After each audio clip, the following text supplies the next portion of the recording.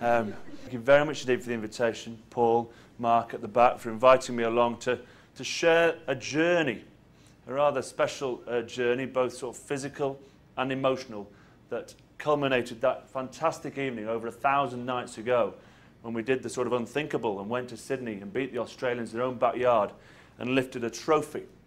I suppose you're thinking, what on earth is a bloke who chased an odd-shaped ball around a rugby field talking to a bunch of bankers for?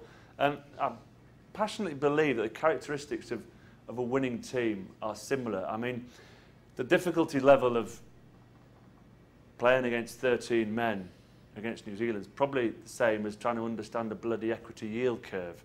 The adrenaline that's going through your veins when you're about to make your first FX trade and you can't remember whether Bobby Barnett on the, on the Mark Yen said buy or sell is, is similar. And so these characteristics, I, I feel, are, are very pertinent um, to successful teams moving forward. So rugby players, uh, we, we, we, have, we, have, we have other examples. We have Lawrence Dallaglio in an Italian restaurant ordering the Pagioni until he works out it's page one.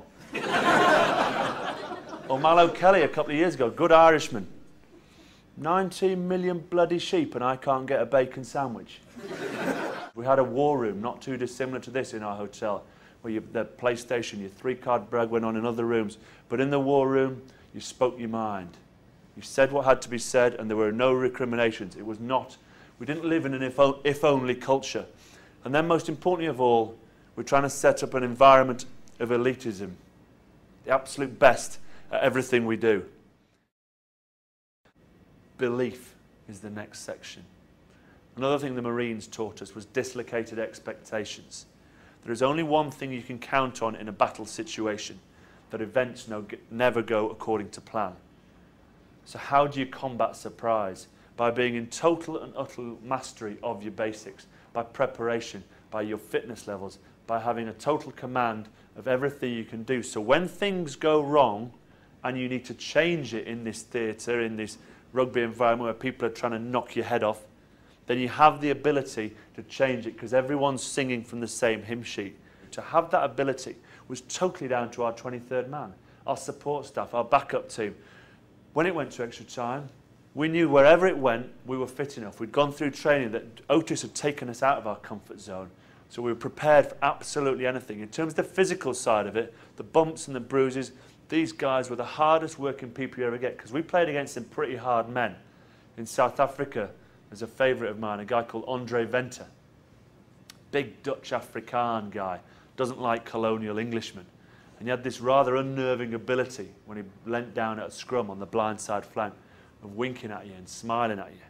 Well, as rugby progressed, of course, with DVDs, not the Jason Leonard DVDs, the videos in terms of understanding positions and moves, they knew everything about you with particular setups. There's one particular time at Twickenham, I was set up on the, on the, on the short side, and there was Andre Venter smiling at me. I won't do my Afrikaan accent. He goes, Greenwood, I've seen this move. You come down the short side, I'll break your legs, and I'll rip your head off. now, cowardice is an underrated virtue in international rugby. I'm going, to change the call. Johnny, go the other way. Greenwood, I know you can hear me. You come down the short side, I'll break your legs, and I'll rip your head off. I'm thinking, Christ, Johnny's not going to help me. Lawrence is going to help me. Who can I turn to? Turn to my old referee, New Zealander, Paddy O'Brien. Paddy, come on, pal. You must have heard that. What are you going to do about it? Nothing. But I wouldn't go down the short side. so with these unbelievably hard men, these guys, gave us this confidence, gave us this belief, and were absolutely integral to being the fittest, strongest team come the World Cup finals. All these different characters were in that change room, were in that huddle, and we looked around and we knew we wouldn't swap one of them, not one of them, for us, because we'd bought into this vision. Woodward had given us a vision to win this World Cup using leadership, using trust, using these attributes, we understood what he meant and we bought into it. We breathed England 365 days a year. We focused on the key areas, on the teacups, on the critical non-essentials, on the 23rd man. Woodward gave us this environment whereby players could achieve their greatness, whereby players could go from good to great. Coaches implemented it, and the players delivered it by listening and understanding what was required.